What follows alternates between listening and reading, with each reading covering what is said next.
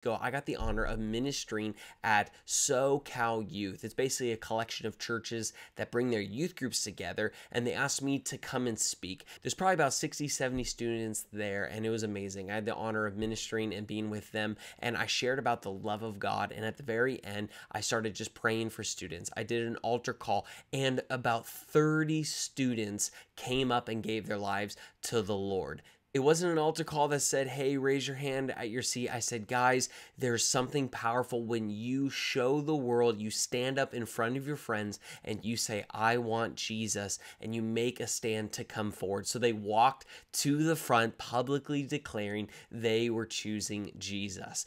One student in particular had never heard about Jesus. He actually just came because his next door neighbor invited him. He was a junior high kid. And then when I was praying for him, I had this sense that God wanted to speak directly to him him. So I just said, Hey, man, I think God's going to show you something. And then the kid said, Yeah, I see it. And I said, Well, what, what do you see? And he said, I, I see this big light and I feel, I hear this voice that says, Come step into the glory.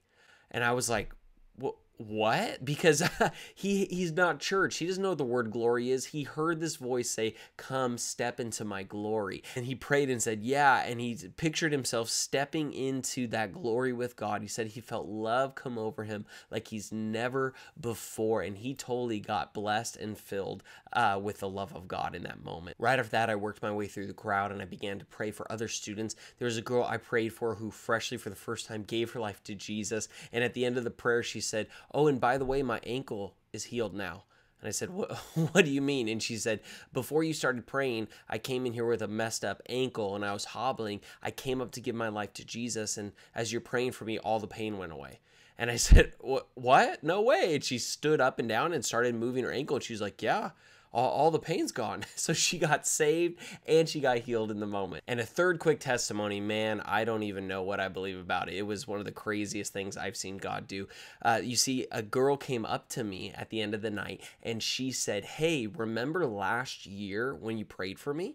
And I had to remember for a second, but she reminded me a year ago I was at an event and she was at that event as well. She was probably 14 years old at the time. She gave her life to the Lord at that event. Um, but then at the time we prayed for her because I felt like someone uh, needed prayer for their hips. So I said, Does anyone here have hip issues? She raised her hand. And at the time, she told me that ever since she was born, she's had uh, some disorder called, that she said is called like frog hips or something. She said basically her hips are bent inwards and they don't bend right.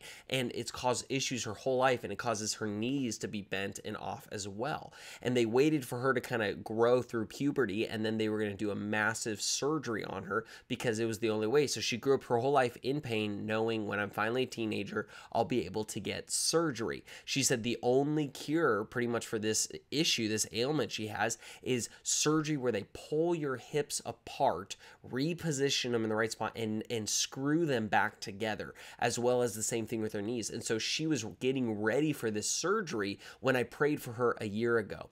Okay, so she now, fast forward a year later, she comes up and she tells me I didn't need surgery. And then she says, A month after you prayed for me, I went to the doctor to go into the pre surgery final scans, and they scanned my hips again and they they said, hold on, your hips are changing. The doctors told her we don't want to do surgery because it looks as though your hips are, are almost turning back to normal. They continued to scan her over the next couple months and her hips went fully back to normal. Her knees are normal. She said a year later she has no pain. She needed no surgery. She did no physical therapy. And this lifelong pain is gone.